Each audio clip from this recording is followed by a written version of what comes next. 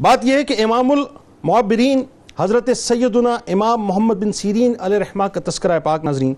ऐसा तस्करा पाक है कि जिसमें आपको इश्क भी नज़र आता है, जिसमें इल्म भी नज़र आता है, जहाँ जोदो तकवा भी नज़र आता है। आपको ताबीर ख्वाब में जो में जो कमाल और शोहरत हासिल थी, उसकी नज़ीर ताबईन और उनके माँ बाद ज़माने में नहीं मिलती नाजरीन।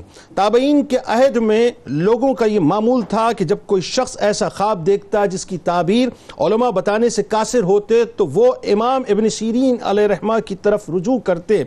आप रहमत उसको जो ताबीर बयान फरमाते, वो ऐसी अटल होती, ऐसी अटल होती कि बड़े बड़े ओलमा भी आपके नूर फिरासत की दाद देने लगते। इमाम जाबी रहमा ने, इमाम मोहम्मद बिन सीरीन रहमा को मोबर खसूसी के नाम से मौसूम फरमाया है।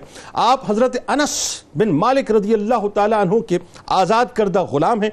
इमाम इबन सीरीन रहमा मशहूर जलील ताबी बुज़ुर्ग, बहुत बड़े आलिम फ़की मुहदस इबादत गुजार, दुनिया से बेरगबत और मुत्तकी परहेजगार थे।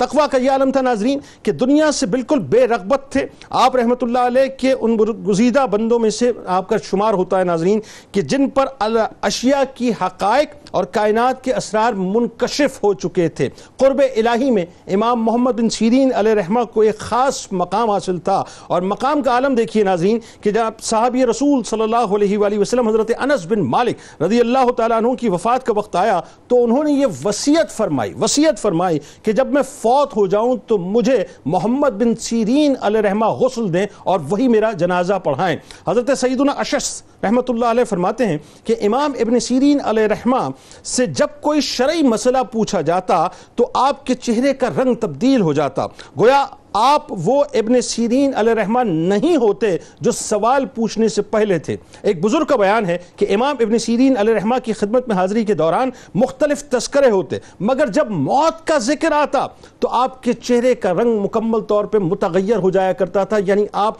मौत के खौफ को बे इंतहा अपने ऊपर तारीफ़ फरमाते थे।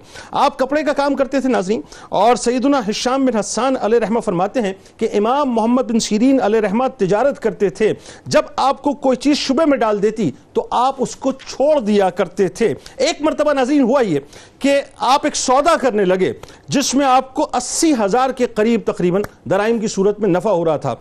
लेकिन आपके दिल में उसके मुतालिक कुछ सूद का शायबा पैदा हो गया तो आपने उसे छोड़ दिया। हालाँकि खुदा की कसम, उसमें सूद नहीं था, ये रावी लिखते हैं, लेकिन उसके बावजूद आपने उस शायबे की वजह से, शक की वजह से उसको छोड़ दिया। हज़रत शाम रहमत फरमाते हैं कि एक मरतबा आपने शुबे की वजह से चालीस हज़ार का नफ़ा छोड़ दिया। हालाँकि आज के ओलमा उसमें कोई हर्ज महसूस नहीं करते, लेकिन वही बात कि आपके दिल में एक बात पैदा हुई, आपने उसको छोड़ दिया। हज़रत शाम रहमत से मरवी है कि जब कोई शख्स तिजारत के इरादे से सफ़र पर रवाना होता तो इमाम इबन सीरीन रहमा उसे नसीहत फरमाते कि अल्लाह पाक से डरते रहना और जो हलाल रिस्क तुम्हारे मुकद्दर में लिख दिया गया है, इसी की तलाश करना, उसकी कोशिश करना। अगर हराम को पाने की कोशिश करोगे, तब भी तुम्हें मिलेगा, उतना ही मिलेगा जितने तुम्हारे मुकद्दर में लिख दिया गया है। लेकिन याद रखना, रास्ते का चुनाव तुम्हें खुद करना है। इमाम इबन हजर असकलानी रहमत लिखते हैं कि इमाम मोहम्मद बिन सीरीन रहमा कामिल सिका, पहाड़ की तरह, यानी चटान की तरह आप मज़बूत थे